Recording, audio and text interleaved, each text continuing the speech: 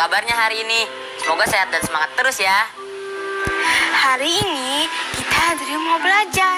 Kita akan belajar tentang kendaraan sebagai penyebab polusi udara, mengenal mobil hibrida dan mobil listrik sebagai salah satu alternatif mengatasi polusi udara. Lalu, kita akan membuat imbauan serta membuat konfiks beran dan berkat. Dan terakhir, Mencari bedanya median, min, dan modus. wah pasti bakal seru banget nih. Kita akan belajar bersama-sama dengan kalian di rumah. Siapkan buku dan alat tulismu ya. Dan jangan lupa berdoa sebelum mulai pelajaran ini. Yuk masuk yuk.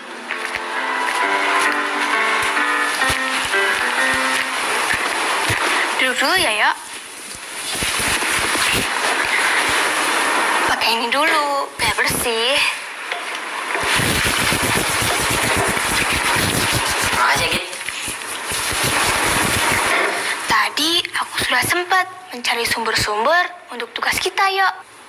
Tentang kendaraan penyebab polusi. Iya, Terus, ada yang menarik nggak? Ada satu yang menarik, dan ini berbentuk video, jadi gampang dipahami. Ya udah, aku ambil buku catatan dulu ya.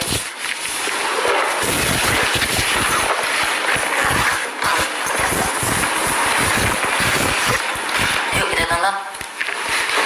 Teman-teman di rumah, ikut nonton dengan kami ya. Dan jangan lupa, catat hal-hal yang penting, karena nanti kita akan buat tugas bersama. Menggunakan informasi yang ada di video ini. Ayo teman-teman, kita nonton bersama-sama. Kemajuan alat transportasi saat ini sangat memudahkan manusia dalam melakukan aktivitasnya. Mempersingkat waktu tempuh adalah salah satu keunggulan alat transportasi. Sedangkan kendaraan besar seperti truk dan bus memiliki keuntungan untuk mengangkut penumpang atau barang dalam jumlah banyak.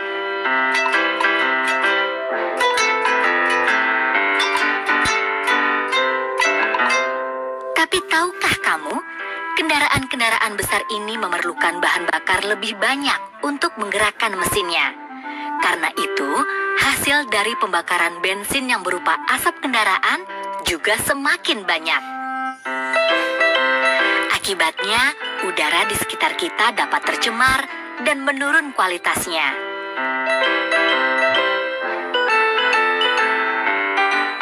Tapi ternyata kendaraan kecil pun juga bisa menjadi penyumbang polusi udara loh. Jika jumlah kendaraan kecil itu banyak, maka asap kendaraan yang dihasilkan akan banyak pula bukan?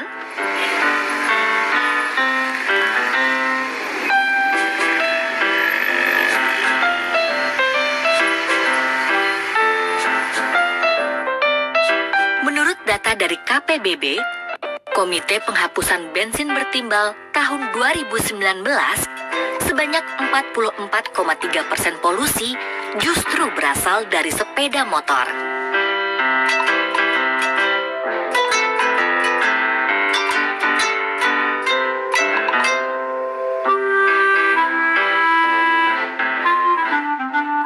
Lantas, bagaimana mencegah terjadinya polusi udara dari kendaraan? Beberapa produsen mobil telah memproduksi alternatif kendaraan yang dinilai lebih ramah lingkungan, yaitu mobil listrik dan mobil hibrida.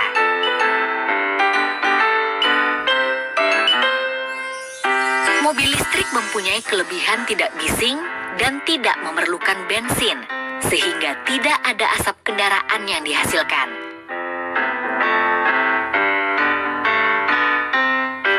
Sayangnya, harganya masih mahal dan jarak tempuhnya terbatas karena tergantung baterai.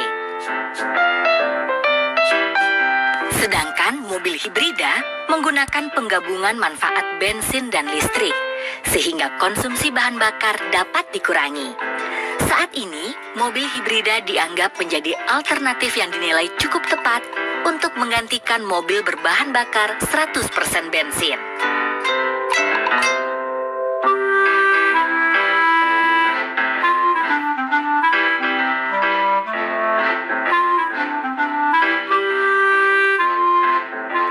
Harapannya, dengan penggunaan dua alternatif kendaraan tersebut, polusi udara akibat asap kendaraan akan jauh lebih berkurang.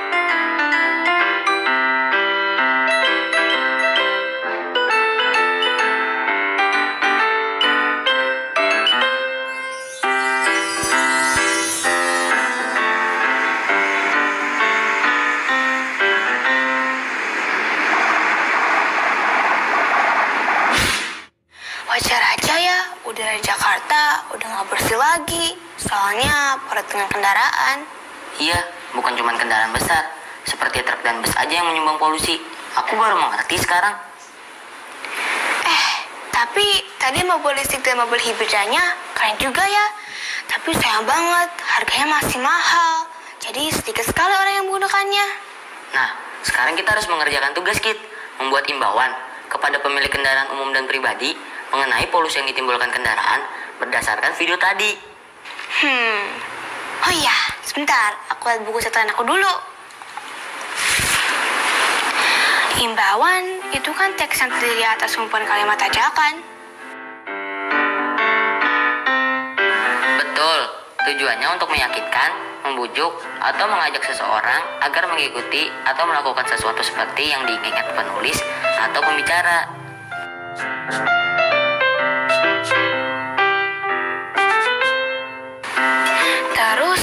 Cara bikinnya gimana? Pertama, kita tulis dulu idenya. Perilaku apa yang harus dilakukan dan dihindari. Contoh, dari video tadi kita tahu bahwa penggunaan mobil kecil dalam jumlah banyak menghasilkan asap kendaraan yang banyak pula.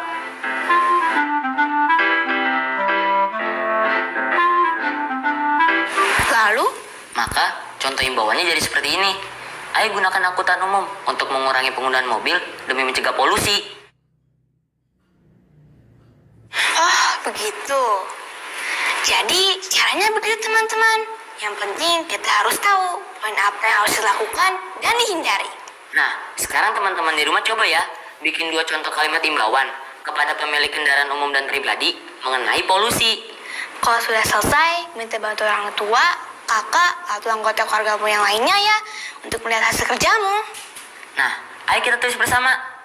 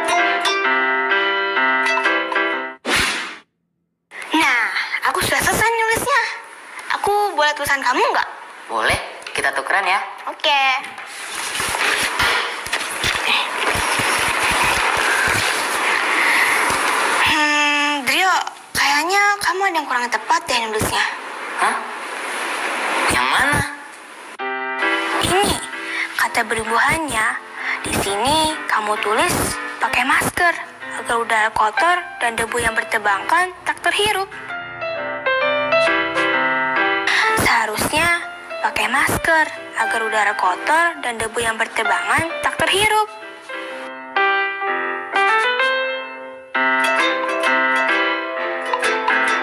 Oh iya betul, aku salah. Teman-teman di rumah, jangan-jangan seperti Trio nih, sudah lupa tentang imbuhan di pelajaran yang lalu. Tolong ingatkan kita lagi dong, Git. Imbuhan itu buuhan pada kata dasar untuk membentuk kata baru. Imbuhan dapat berubah awalan dan akhiran. Sebuah kata kalau salah bubuh bisa salah arti. Misalnya, tabur. Tapi jika dibubuhkan berkan, tabur bisa menjadi bertaburkan, yang artinya dihambur dengan. Tabur jika dibubuh beran, jadi bertaburan, yang artinya berserakan.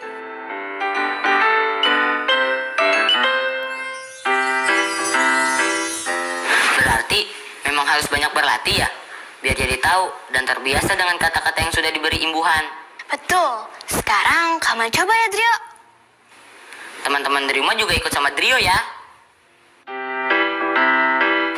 Angin kencang meniupkan daun hingga titik-titik. Kakek tidur, titik-titik, tikar.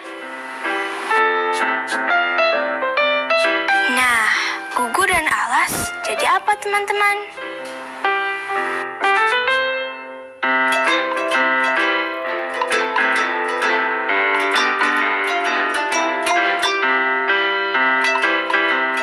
Jawabannya jadi seperti ini. Angin kencang, meniupkan daun hingga berguguran. Kakek tidur, beralaskan tikar.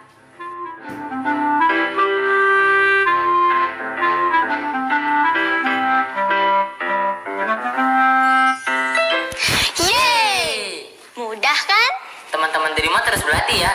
Buat beberapa contoh, kata berimbun beran dan berkat agar terbiasa seperti Drio. Eh, udah jam segini aja. Pasti udah lapar kan? Kita makan siang dulu yuk. Eh, boleh, perut aku udah dari tadi keloncongan.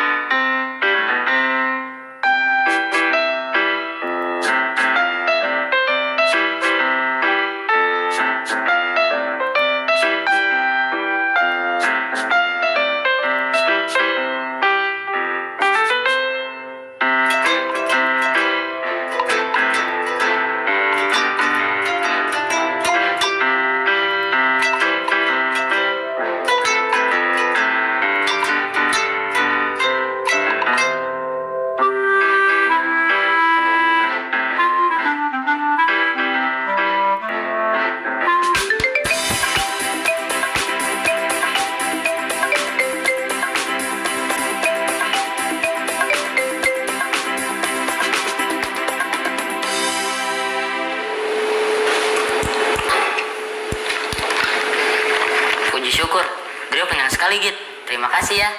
Sama-sama. Eh, Ngomong-ngomong, kamu sekolah diantar naik mobil kan Git? Iya, tapi isi mobilku penuh.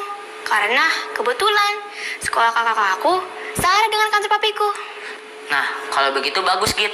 Sayangnya, kebanyakan orang masih menggunakan kendaraan pribadi. Meski satu mobil, isinya cuma satu sampai dua orang. Iya, itu mubazir banget.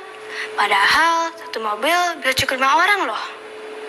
Tapi jika terisi penuh, 10 mobil bisa mengangkut 50 orang. Banyak banget kan?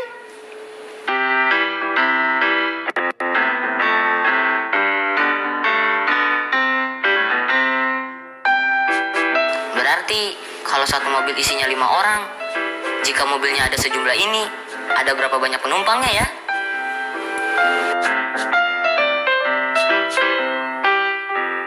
Ayo teman-teman, dijawab ya. Nah, itu ada yang jawab. Cepat sekali ya. Karena ada caranya, Drio. Pertama, hitung berapa jumlah mobil ke samping. Lalu, hitung berapa jumlah mobil ke bawah. Berarti 4 mobil dikali 6 mobil. Maka totalnya 24 mobil. Jika sudah begitu, tinggal cari jumlah penumpangnya. 24 mobil kali 5 orang. 24 adalah 2 kali 10 ditambah 4. Penumpang 10 mobil adalah 10 kali 5 sama dengan 50.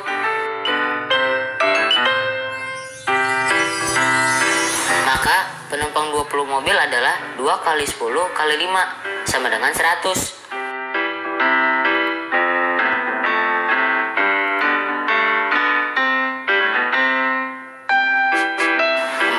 Kali 5 sama dengan 20. Berarti 24 kali 5 sama dengan 120 orang teman-teman.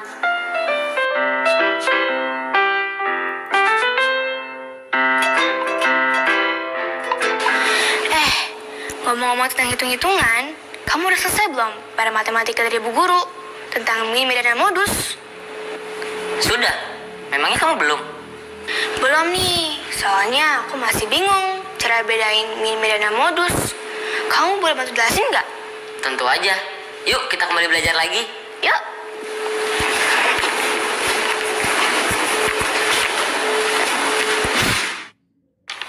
Hmm. Nah, ini dia. Caranya gimana? Oh iya, teman-teman di rumah juga ikut bantu mengerjakan dengan kami ya. Nah, ini dia soal dari ibu guru.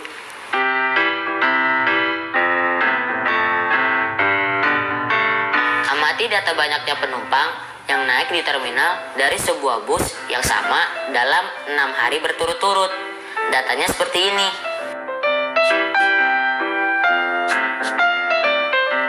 Nah, langkah pertama, agar datanya mudah dilihat, kita urutkan dulu dari data terendah sampai tertinggi, yaitu 7, 9, 11, 12, 12, 13.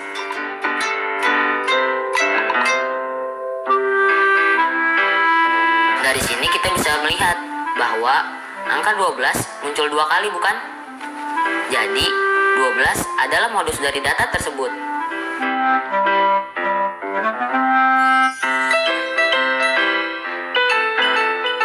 Oke, sampai sini aku paham. Selanjutnya, kita cari median, yaitu data yang berada di tengah-tengah setelah diurutkan.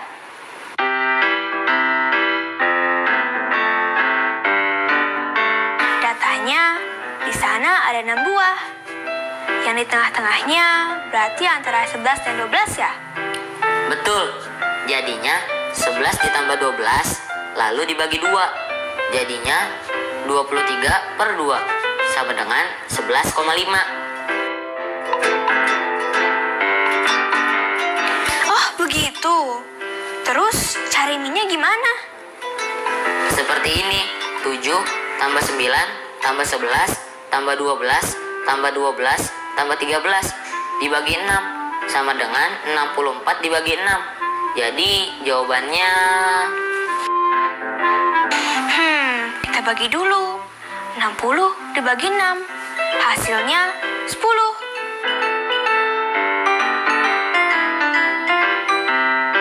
Nah, kalau 4 dibagi 6 sama dengan 2 per 3. Kalau kita ubah ke pecahan desimal, hasilnya 0,6666. Sehingga hasil dari 64 dibagi 6 adalah 10,6666. Atau jika dibulatkan menjadi 10,67.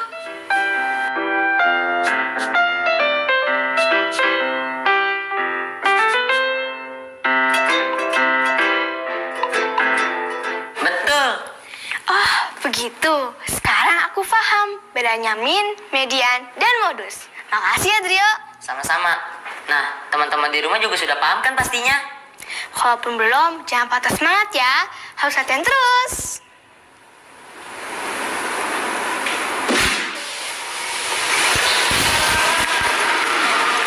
Wah, akhirnya ya pelajaran dan tugas kita sudah selesai semua.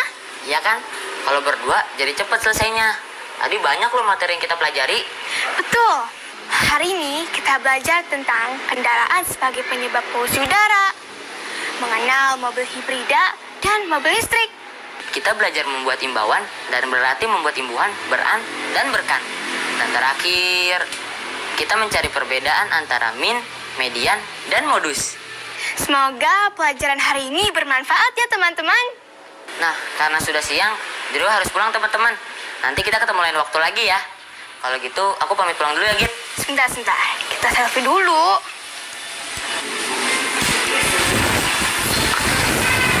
Nanti jangan lupa colek Ricky ya. Oke. Ya, aku pamit pulang dulu. Hati-hati ya, Drio. Nanti kapan-kapan kita belajar lagi ya. Ya. Dadah. Ya.